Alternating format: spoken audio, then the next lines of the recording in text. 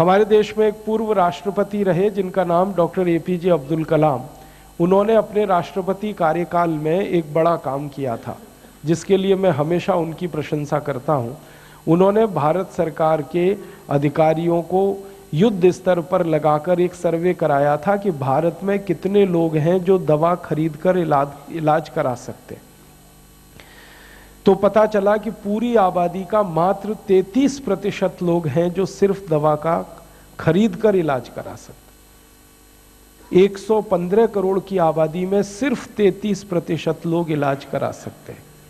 बाकी का बाकी का सब भगवान भरोसे है। और क्यों भगवान भरोसे है? तब पहली बार एक सत्य उद्घाटित हुआ इस देश में। डॉक्टर एपीजे अब्दुल कलाम के कारण वो सत्य पता चला देश को। चौरासी करोड़ लोगों की आमदनी एक दिन में बीस रुपए से कम है, इसलिए वो तो इलाज करा ही नहीं सकते। पचास करोड़ लोगों की आमदनी एक दिन में दस रुपए से कम है, उनकी तो संभावना नहीं है दूर दूर तक। 25 करोड़ लोगों की एक दिन की आमदनी पाँच रुपए से कम है, वो तो कभी सोच ही नहीं पाएँगे इलाज कराने का। इतनी गरीबी। तो गरीबी बहुत ज़्यादा दवाएँ बहुत महँगी, चिकित्सा सुविधाएँ अपर्याप्त, इन सब कारणों से हमारे देश में बड़ी बुरी दुर्दशा है। इस दुर्दशा का क्या समाधान है?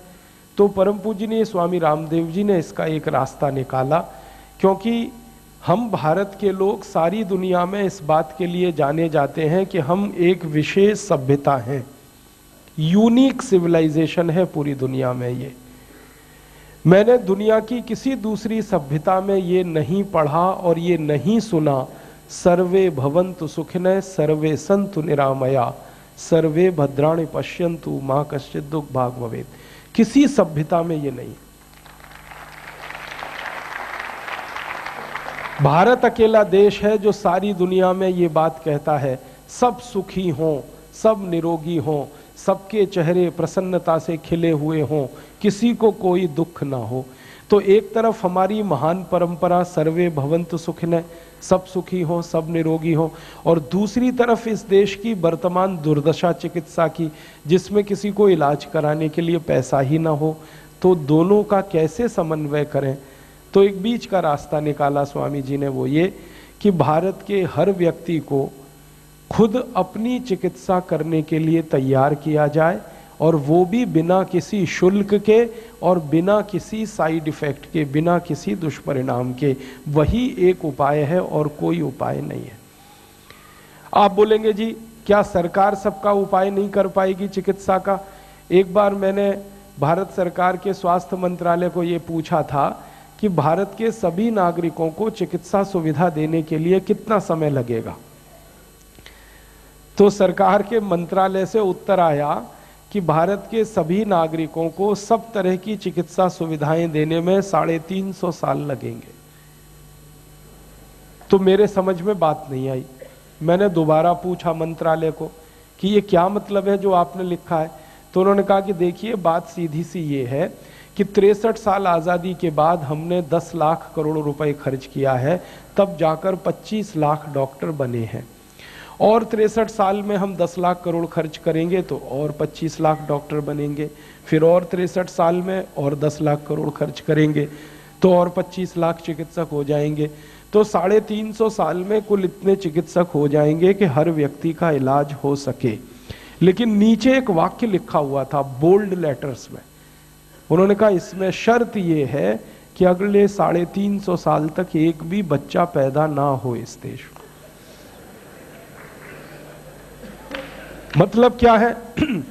मतलब यह है कि साढ़े तीन सौ साल तक देश की आबादी ना बढ़े।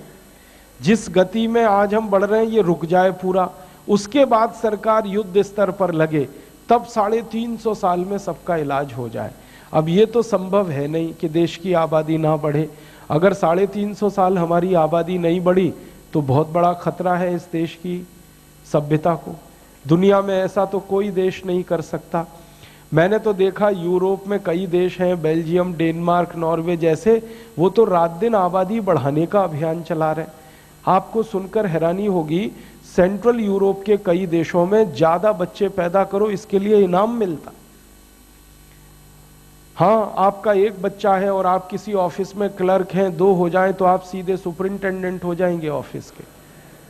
और तीन बच्चे हो गए तो सेक्शन ऑफिसर हो जाएँ। चार हो गए तो पता चला डायरेक्टर हो गए उस ऑफ़िस के आप। जितने ज़्यादा बच्चे, उतना बड़ा प्रमोशन और कैश इंसेंटिव अलग से। हज़ारों यूरो डॉलर में कैश इंसेंटिव देते हैं अगर ज़्यादा बच्चे पैदा हो आपके। क्योंकि उनकी आबादी स्थिर हो गई है। देश के खत्म हो जाने का खतरा पैदा हो गया है। वो खतरा हम नहीं ले सकते इस देश में। एक भी बच्चे पैदा ना हो। तो इसका मतलब है सरकार के भरोसे तो सबका इलाज हो नहीं पाएगा। तब एक ही रास्ता है कि लोगों को उनका इलाज करने के लिए प्रेरित किया जाए और इस इलाज के लिए उनको कुछ ऐसी विद्या सिखाई जाए, जिस विद्या का उपयोग करके वो अपने जीवन की बीमारियों को दूर कर लें, परिवार की बीमारियों को दूर कर लें, पड़ोसियों की बीमारियों को दूर कर लें। इसी विद्या का नाम है योग और प्राणायाम और इसी अभियान का नाम है सर्वे भवंत सुखने वाला योग प्राणायाम का जो परम पूजनीय स्वामी जी ने शुरू कर रखा है। एक ही दृष्टि है उसके पीछे कि सभी लोग स्वस्थ हों।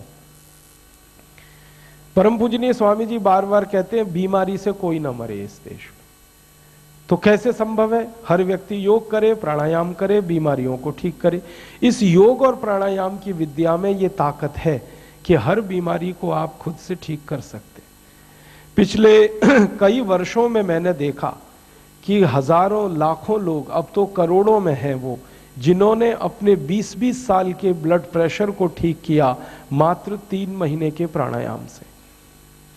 मैंने ऐसे हज़ारों, लाखों लोगों को देखा, जिन्होंने अपनी शुगर को ठीक किया मात्र दो ढाई महीने के प्राणायाम से।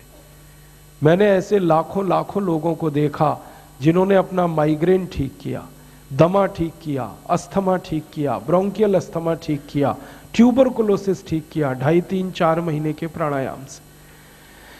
माताओं बहनों को मैंने देखा, जिनकी गर्भाशय में ढाई ढाई सौ ग्राम की गांठ थी, ट्यूमर था, उन्होंने वो ट्यूमर गला दिया छह सात महीने के प्राणायाम से।